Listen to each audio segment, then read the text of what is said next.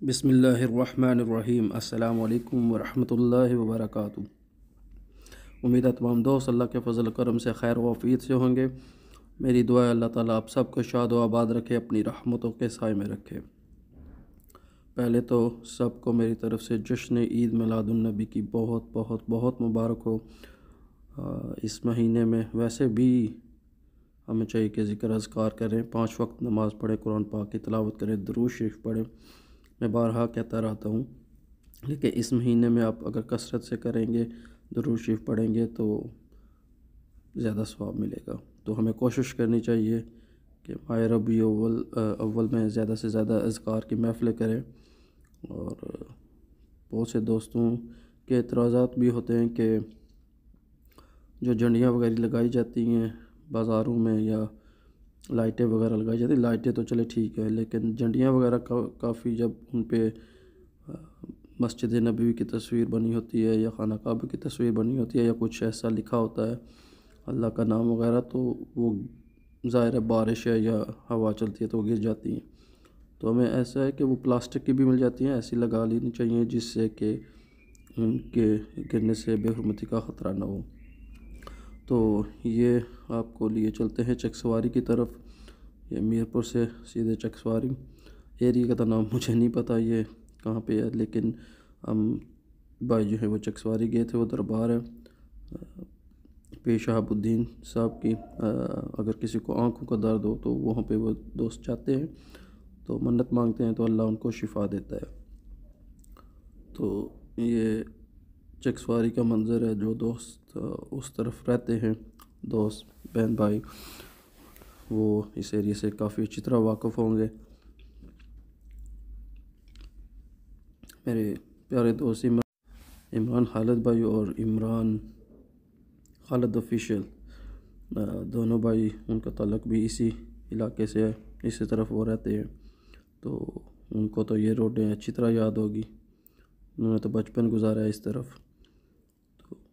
हम भी जाते रहते हैं दरबारों पे भी जाते हैं और उसके अलावा हमारे रिश्तेदार भी हैं वहाँ पे तो वहाँ पे आना जाना लगा रहता है। तो ये काफ़ी प्यारा मंज़र शाम को पेश कर रहे थे। पहाड़ों के दरमियान से सड़कें आ रही हैं, पानी आ रहा है, नीचे मस्जिद वगैरह बनी हुई है और काफ़ी अच्छा मंज़र था। तो सोचा मैंने दोस्तों के साथ शेयर कर लूँ। क्योंकि जो दोस्त हम बैरून मुल्क मुकीम है तो अपने इलाके को देख कर खुशी होती है। ज़ाहिर है, पता चलता है कि हमने यहाँ पे अपना बचपन गुजारा। तो मैंने सोचा ये आपके साथ शेयर कर दूँ। अभी शाम का वक्त था तो सूरज भी देखें आहिस्ता आहिस्ता रूब हो रहा है। और मौसम भी काफ़ी हद तक अब बदल चुका है कि अभी ये मंज़र देख लें दरबार शरीफ और वो मस्जिद दरिया के किनारे। तो काफ़ी खूबसूरत मंज़र था। कबूतर देखें, उड़े हैं वहाँ पे। उसके अलावा इसमें इसी वीडियो में आगे चल के आपको जो है एक जो चकसवारी की मेन पहचान है वो पुल जो पुराना पुल था, वो इतना कुशादा नहीं था क्योंकि उस पे से एक आध गाड़ी निकल सकती थी या बड़ा ट्रक वगैरह तो दूसरों को रुकना पड़ता था। लेकिन उसके बाद ये नया पुल वगैरह बना, जिससे काफ़ी सहूलत हो गई अब। तो ये मंगला डैम का पानी है, यहाँ पे उस पर यह पुल बना हुआ है।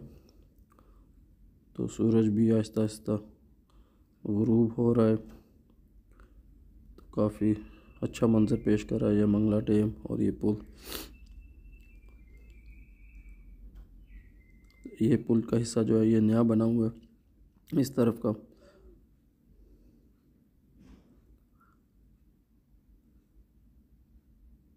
तो जब आप रोड क्रॉस करके उस तरफ़ जाते हैं तो आपको वो पुराना पुल भी नज़र आता है, क्योंकि दोनों को इन्होंने सेपरेट रखा हुआ है और दोनों इस्तेमाल में हैं।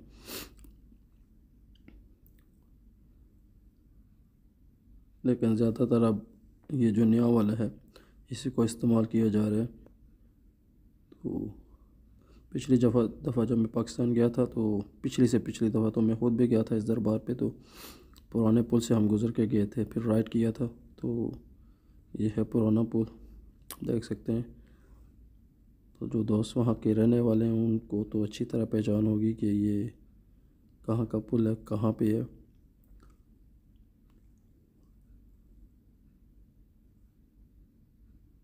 तो काफ़ी अच्छा मंजर पेश कर रहा था। दुआ में याद रखें, चैनल को सब्सक्राइब करें, लाइक करें, शेयर करें। अल्लाह हाफिज़।